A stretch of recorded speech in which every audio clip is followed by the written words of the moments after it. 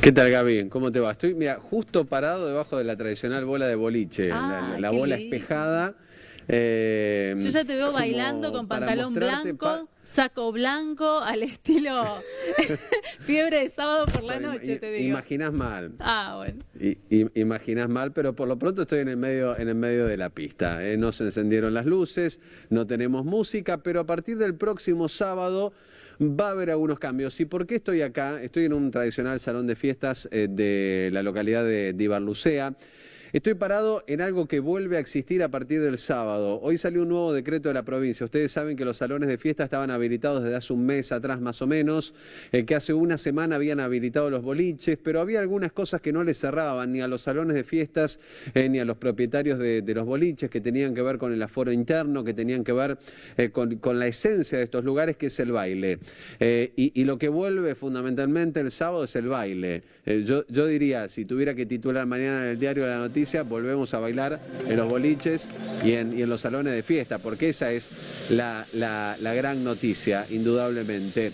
Eh, en este salón de, de fiestas, donde estoy parado, en todo este sector había mesas, porque estaba bloqueada, eh, no podía existir una, una pista de baile, y ahora eh, va, recuperamos este espacio, la posibilidad de bailar, y no ya en burbujas como se había planteado, eh, que vos bailes en tu mesa, sino volver a reunirnos eh, debajo de, de la bocha espejada, de todo. Vení, sumate, Iván. así vamos a hacerlo acá, ya que estamos con, en la pista, que es lo que verdaderamente vuelve.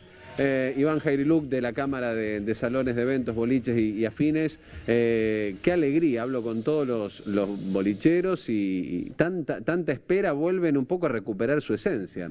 Sí, Maxi, como bien decís, un trabajo enorme de, de las tres asociaciones que durante 18 meses peleamos por esta instancia, no solo la del baile, sino la, la habilitación propia de nuestros rubros, tanto salones de eventos, eh, salones de, eventos infantiles y IDEAR, que es la Cámara de, Discotecas de, de la provincia, que las tres asociaciones estuvimos, bueno, batallando eh, a capa y espada con los políticos, con, con todas las resoluciones y demás, y protocolos para poder llegar a hoy a esta instancia y, y poder disfrutar de esto que nos llevó muchísimo tiempo. Contame cuáles son los cambios principales de esto que resolvió la provincia hoy, del decreto. Yo hacía mención a algo que no es menor, que es el baile, se vuelve a bailar, eh, que es algo que estaba absolutamente vedado y prohibido. Sí, correcto. Lo que se logró en el día de hoy, eh, el, el nuevo decreto, que es una modificación eh, al artículo 9 del decreto anterior, que salió el viernes pasado, eh, hoy nos permite el aforo del 50% interno en, los, en tanto los espacios cerrados, eh, en discotecas y salones de eventos, y el aforo afuera, que es el 70% en, en lo que es exterior. Mm, Bien, eh, en respecto de los horarios eh, establecidos, eh, con- ¿cómo estamos, eh, dónde estamos parados en este momento? Bueno, el, el decreto es claro, autoriza que se desarrollen actividades relacionadas con el baile de 20 a 3 de la mañana. Esos son los horarios que van a regir por el momento y son los que claramente vamos a llevar adelante. Todos los eventos que teníamos reprogramados eh, empezamos a trabajar con esa agenda desde mañana mismo. Eh, porque, bueno, de- decíamos lo del baile y los aforos, porque quienes podían tener al aire libre son muy pocos los boliches en, en- en Rosario, creo que son puntualmente dos, y al mismo tiempo está prohibido poner música afuera, es como que esto corrige un poco esa, esa cuestión. ¿no?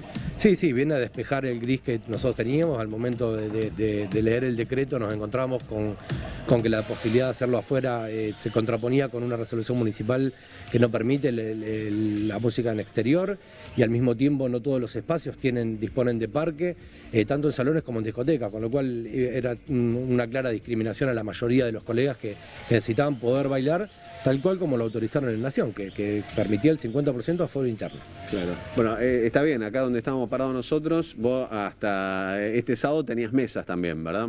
Es correcto, la pista había que bloquearla, eh, era parte del, del- del protocolo que teníamos que cumplir los salones, bloquear la pista con mesas para que no se desarrolle el baile de ninguna manera, ni en la mesa, ni en, ni en la pista propiamente dicha.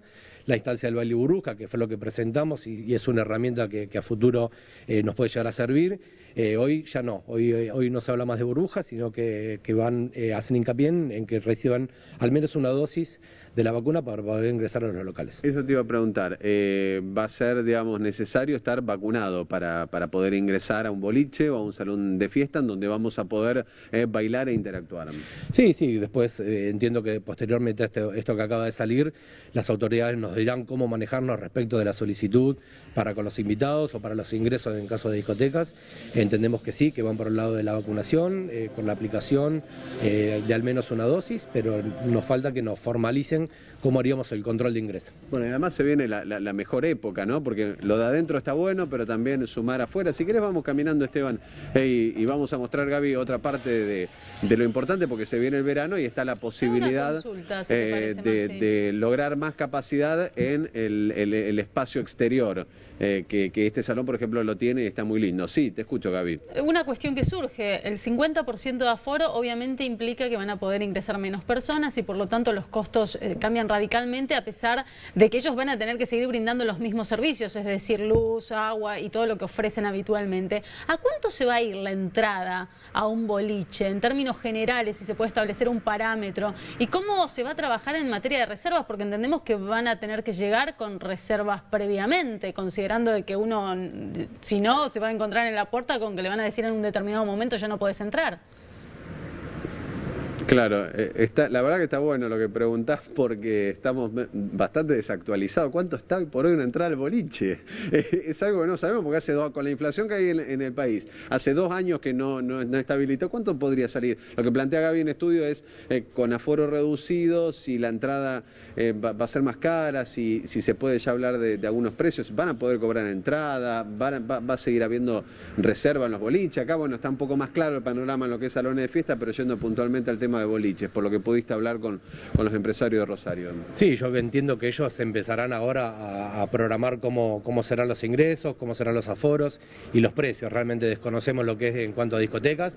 En lo que respecta a salones, sí podemos decir que debemos muchísimos eventos del año pasado a precios eh, de 2019 con lo cual para nosotros es un empezar, pero es un empezar muy difícil, eh, hay que ir cuesta arriba porque tenemos precios muy desactualizados, ¿no? los eventos nuevos son a posteriori y hoy tenemos que hacer frente a los eventos que teníamos postergados, con lo cual arrancamos con una agenda compleja, eh, con muchas devoluciones de eventos que no se pudieron realizar y con un panorama duro desde lo económico porque eh, son 18 meses que estuvimos esperando para trabajar y fue durísimo sostener estructuras con todos los gastos, empleados. Eso pensaba, lo recorremos a, todo este salón vacío, digamos, lo, grande que es el precio, son estructuras difíciles de mantener tanto tiempo sin, sin trabajar. Evidentemente, sin, si no hubiera habido alguna ayuda eh, se hubiera hecho imposible directamente y aún así fue difícil. Sí, claramente, nosotros somos, fuimos muy agradecidos y seguimos siéndolo con el, con el Ministerio de Producción de la provincia que nos dio una asistencia a la mayoría de los espacios, algunos no han podido calificar, pero la mayoría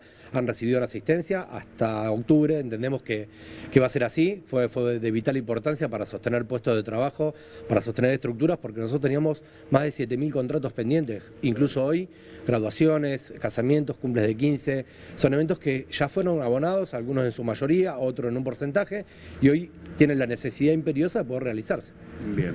Bueno, gracias, eh, Iván. O sea que entrada pueden volver a cobrar, digamos, en este esquema, los boliches. Eh, ¿Eso queda habilitado? Sí, sí, absolutamente. Estimo que ya mismo pondrán primera para empezar a habilitar sus espacios, ponerlos todos en, condiciones. Son estructuras grandes, con lo cual hay que, hay que ponerse desde ya a trabajar para, para eso. Pero sí, seguramente se cobrarán entradas, habrá barra y demás como tuvimos siempre acostumbrados a hacerlo.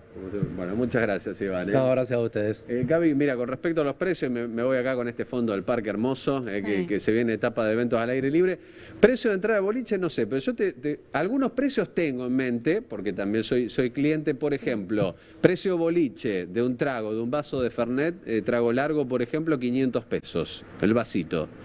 Bien. una copa de gin, que es otro, a lo mejor otro trago característico, 600, 700 pesos. Eh, son salados. Insisto, esto es precio boliche. Uno va a un bar de Pichincha, consigue eh, estos tragos por la mitad de precio, pero bueno, se entiende que es bar y se entiende que los boliches siempre cobraban los tragos un poco, un poco más caros. Esta es un poco la referencia, digamos, de lo que puedo encontrar en un bar, el doble es lo que te sale un trago en, un boliche. Ahora, en cuanto al precio de entradas, la verdad que va, a ser, es incierto hasta el momento, eh, porque no se podía cobrar entrada, ahora se podrá empezar a cobrar entrada y se podrá eh, volver a, bailar, y sobre todo esta cuestión de interactuar con otras personas, que es lo que habíamos perdido, uno podía un bar, estar con, personas desconocidas, pero no interactuar porque no te podías parar de tu mesa, eh, mucho menos bailar. Bueno, ahora regresa esa posibilidad de, interactuar eh, con una persona que no forma parte de tu burbuja. Sí, sin duda el servicio que ofrecen es totalmente diferente al que puede ofrecer un bar o un salón de fiestas. Es otra cosa. Ahora, si pensamos en términos de costo, mira, yo pensaba en los bolicheros, DJ, luces, limpieza, acondicionamiento del lugar, eso ya obviamente se ha incrementado un montón y me imagino que se trasladará a la entrada. Y por otra parte hay un tema que no dejaste eh, o no señalaste, que si uno bebe alcohol ahora, a dos años de la última vez que fuimos a un boliche, se suma el tema de poder regresar en un vehículo eh, habilitado, es decir, servicio de taxi o alguien que no consuma alcohol, porque lo cierto es que va a haber muchísimos controles, imaginamos también en la zona de boliche. Con lo cual, todo un, hay un presupuesto esa es otra discusión. Lo que te sale salir, eh, yo creo que perdimos dimensión de lo que sale una, una noche de, boliche, eh, si, si, vas a comer, si después te tomas un trago, si tenés que pagar el taxi de ida y, de vuelta. Todo, viste ahí, qué sé yo, uno se puede adaptar, a no se puede, se tiene que adaptar a lo que puede tener en el bolsillo, pero eh, la verdad que el presupuesto de una noche va a ser, bueno, y de hecho se irán adaptando también, habrá que ver eso también, qué, qué, se puede cobrar, qué se puede pagar. Bueno, tendremos que ir eh, reaprendiendo todas estas eh, cuestiones, entre ellas también lo que valen las cosas de, la nocturnidad eh, que estuvo vedada durante todo este tiempo de pandemia.